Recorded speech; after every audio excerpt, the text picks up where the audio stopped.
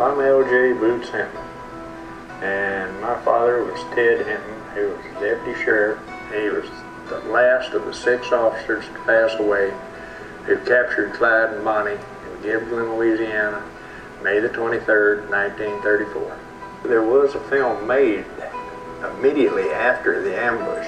It was made on the Bell and Howell Wind-Up 16 uh, that Ted carried with him all during the time that he was after Bonnie and Clyde. Uh, news photographer in Dallas with the Dallas Times Herald gave that camera to Ted and told him, says, Ted, you need to carry it with you because you're going to get them eventually, and when you do, you're going to need to document it. Ted knew Clyde because they had been Western Union messengers together.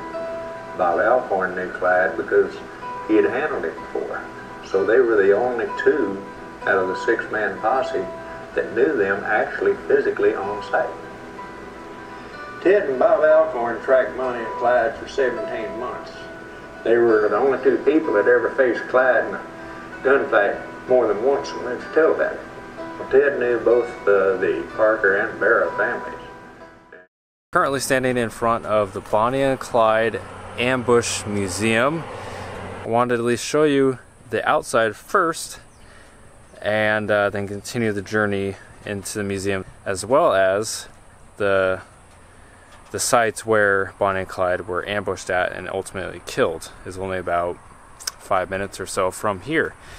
Um, so I'm going to do all that in the video and give you as much history as I can for you because it's a, I don't know, it's a very interesting piece of history. Um, just so you know, I'm not condoning at all what Bonnie and Clyde did, nor any other kind of, you know, criminals or gangsters or whoever. Um, I'm just uh, sharing a piece of history, a piece of, you know, 1930s Americana history. So I'm sure you guys will enjoy it. To those who are curious or don't really know, Bonnie and Clyde, or Bonnie Parker and Clyde Barrow, um, were a 1930s couple who were in their early 20s, um, who had, who went on a about a two-year kind of crime spree um, robbing banks, robbing stores, gas stations, and uh, ended up killing roughly about 13 people, including numerous police officers, in their pretty pretty deadly uh, kind of crime spree. They kept on going for about two years or so, and then were ultimately ambushed by police officers from Texas and Louisiana. I'll go into more of the ambush stuff, uh, more into details when I actually get to the spot where it happened. So when you have history like this that is um, so old, um, there's a lot of different uh, truths and myths, and so it looks like Bonnie um, was 23 when she passed away, and uh, according to online, it looks like Clyde was 25 when he passed away. Although in the museum, it looked like some of the articles and stuff said that the family actually said that he was born in 1910 instead of 1909, which would mean that uh, he was 24 when he passed away. So again, I don't know exactly what is true, what is not true. Um, so either way, Bonnie was definitely 23 when she passed away because her birthday was in October and she passed away in May. So she would have been 24, but she died before her birthday. And Clyde was either 24 or 25. So, had to clear that up because it was kind of confusing. So, obviously, very young, and uh, I guess went out in their own style, in their own kind of blaze of glory, in a sense. Um, the reason why I'm showing you the outside of this museum is because it's actually part of the story. This museum was not always a museum, as you can imagine. this museum uh, actually was a cafe, and honestly, I did not know this until I looked it up. However, the last moments of Bonnie Clyde actually started that morning on May 23rd, 1934. Uh, I think they died around 9:30 a.m. or 10 a.m. I'm not sure about that, but somewhere around that. they went to this cafe here in Gibsland, Louisiana around 8 in the morning to get food. That was the last sighting of them before they were ambushed several hours later. So, this museum is actually part of the story because this used to be the cafe that they went to the morning of the ambush, morning that they passed away. So, I think that's kind of, um, I don't know, iconic, I guess. But uh, yeah, it's become a museum. Funny enough, there's actually two museums. There's a small one right there, and then there's the big one right here. This one was a cafe. This is the one that they ate at and has become the museum.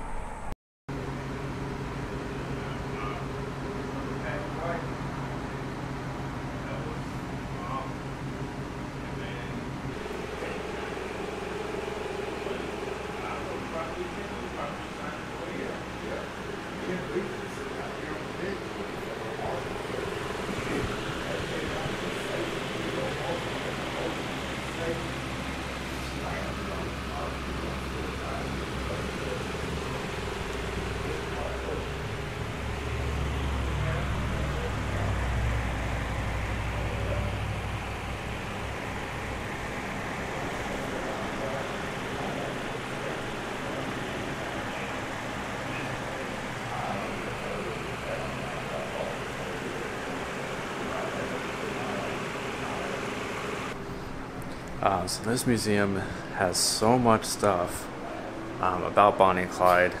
Lots of you know real, true pictures um, from the time frame, and uh, newspaper articles, everything you could think of. Um, and I don't know if there's some of their clothes or something. I'll have to check it out.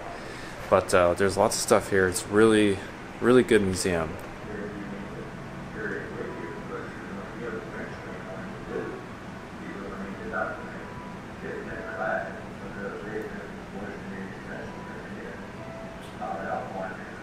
And of course, in the 1930s, um, other kind of notorious gangsters were running around, including John Dillinger, um, Babyface Nelson, and a slew of others.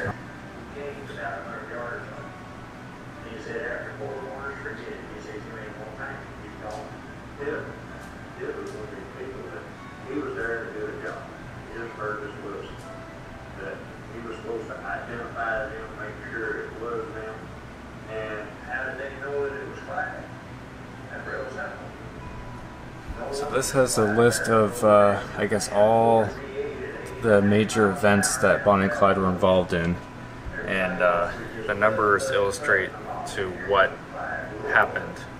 Um, so they, they did a lot in kind of the central South United States, obviously Texas, Louisiana, Oklahoma, Arkansas, kind of this general area.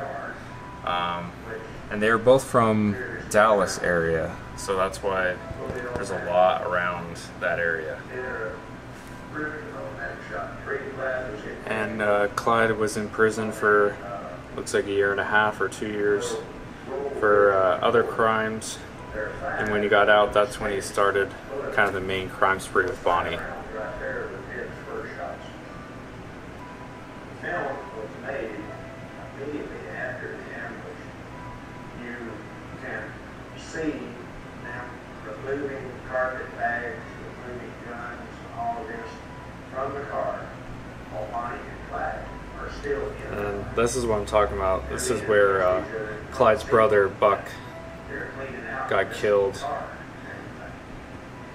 And, uh, his wife went to prison.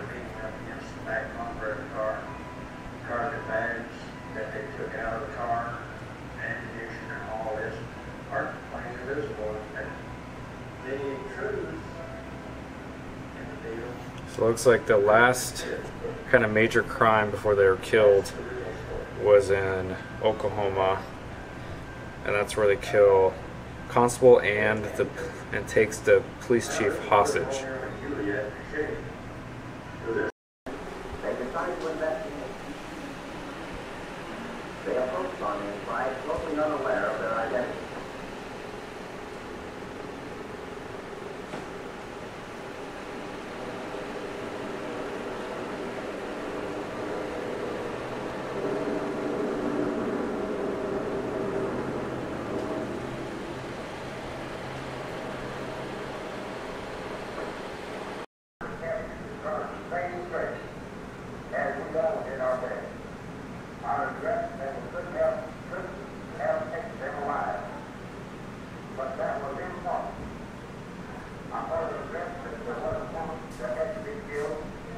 which prisons have been held. There is not much to say now.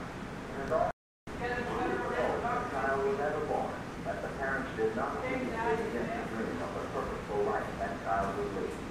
And in how proud they would be to watch that life unfold. In every mother's land, there sits a future president, and no father ever dreamed. So there's two cars here in the museum. Um, one was actually a, a replica car that they used in a Bonnie and Clyde movie, and uh, it says right here that a guy named Jack Turner, who was an expert marksman, actually spent two hours shooting at the car in order to make it as realistic as possible for the movie. So it's not the car that they Bonnie and Clyde died in, but it's a replica.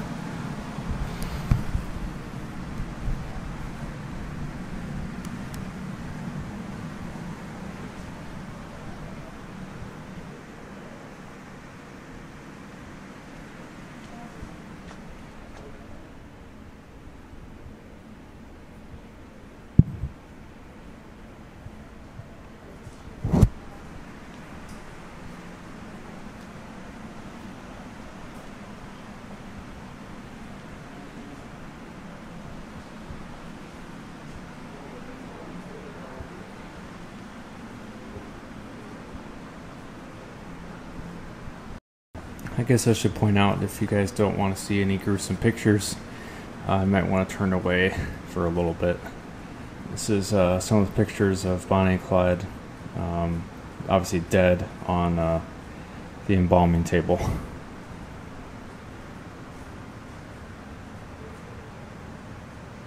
So, as far as I know, it looks like Clyde met Bonnie at a mutual friend's house in 1930.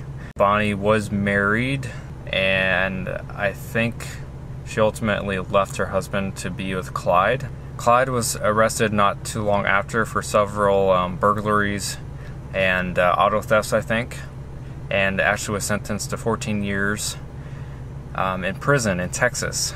The prison was uh, a terrible place, apparently. It was. Um, lots of bad things were going on in that prison, and that's when uh, Clyde decided um, that he wanted to take revenge and uh, get not only get out of the prison but save as many of his fellow inmates as he could.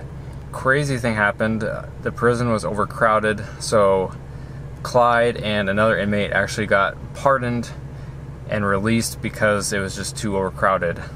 So Clyde got released, I think, in February 1932, and uh, that's when him, Bonnie, and a few other um, of his gang members, and including uh, his brother, uh, Clyde's brother Buck, and Buck's wife Blanche, um, they all started kind of the Bonnie and Clyde gang, so to speak. Throughout the next uh, year and a half, Bonnie and Clyde committed, you know, like I said, dozens of of robberies, burglaries, and bank robberies, which ended up killing um, 12 people. And throughout that time, um, Clyde kept mentioning he wanted to go back to the same prison he was incarcerated at to break out um, several of his friends and former gang members. And that finally came to fruition um, January 1934, only a mere handful of months before they were both killed. Um, but the main person they were trying to break out was one of their friends named Henry Methvin. During the basically escape and breakout, Clyde and one of his gang friends then ended up shooting the guards as well. Because of Bonnie and Clyde's notoriety for killing officers and uh, the the them helping break out and shoot um, these officers or guards of the prison, they kind of elevated themselves up to like public enemies number one, so to speak. One of the retired rangers kind of made it his mission to take down Bonnie and Clyde after that happened. Um, so, what kind of helped with uh, the ambush was the fact that Henry Methvin, the guy that the, that Bonnie and Clyde helped to break out of prison, he ended up kind of turning on Bonnie and Clyde, and so he he wanted a full pardon of the breakout and, and any other crimes he was committing. He wanted a full pardon, and so in exchange for that pardon, he helped several officers uh, set up this ambush. Um, I did not know that until I looked it up.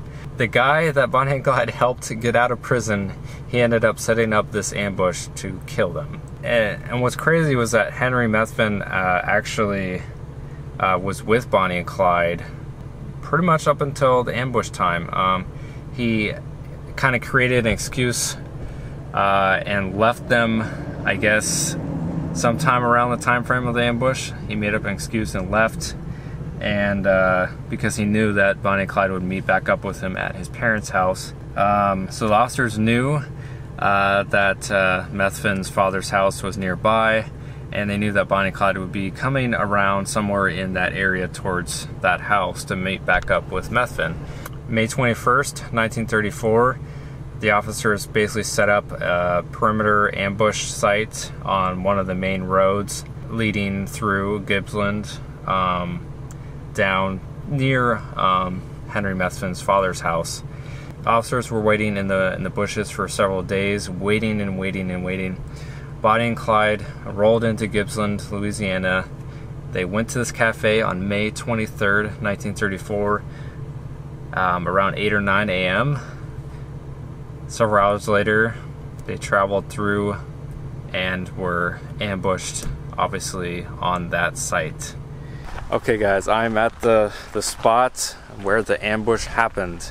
So, reading tons of online reports, uh, lots of uh, different news articles and different stuff like that. I think I've pieced together uh, the the direction of travel that Bonnie and Clyde were driving in, and where um, the six patrol officers uh, where they were setting up at in the tree line, um, waiting for to ambush Bonnie and Clyde. I think I've pieced together where they were in terms of Bonnie and Clyde and stuff like that.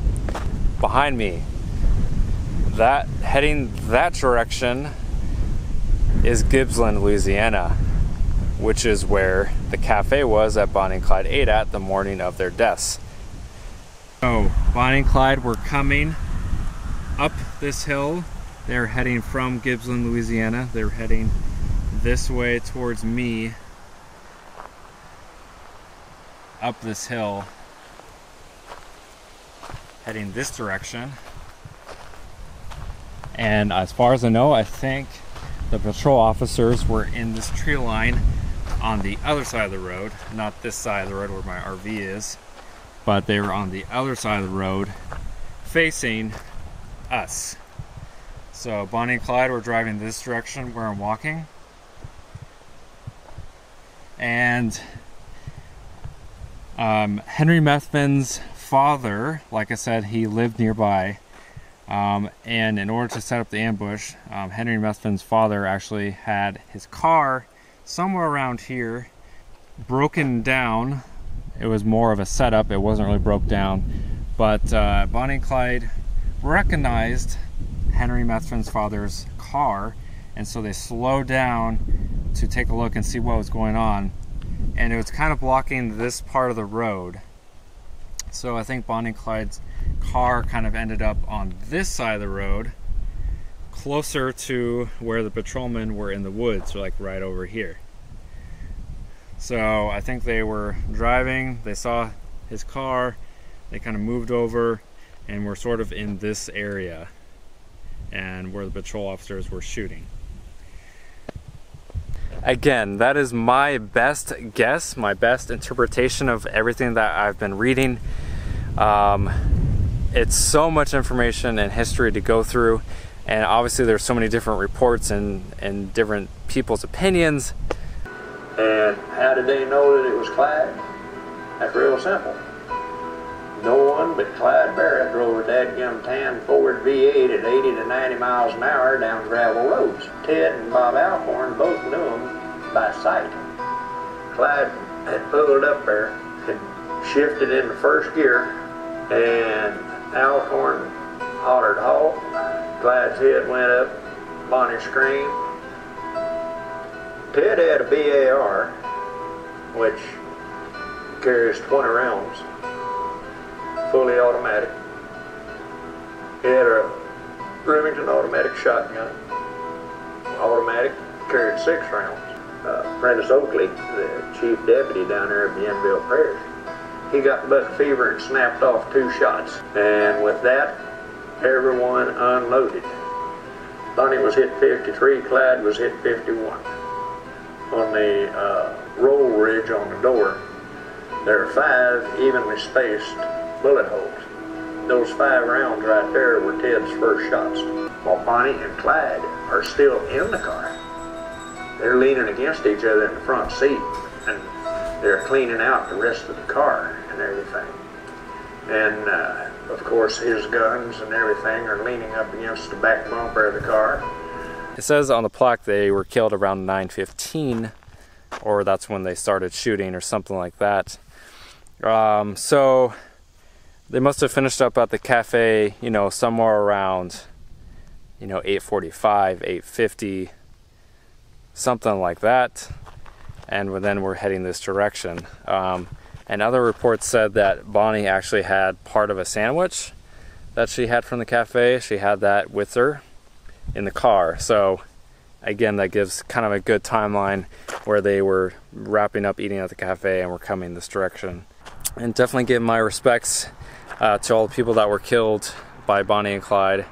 Um, Bonnie and Clyde were both buried in Dallas, Texas, I believe. So um, I'll try to maybe do a separate video probably on Bonnie and Clyde's uh, kind of gravestones and uh, some other sites around Texas if I have time. So stay tuned probably for some of those videos. Um, thanks for watching guys. More bandit stuff coming up so don't worry about that. And until next time don't forget to live, explore, and travel.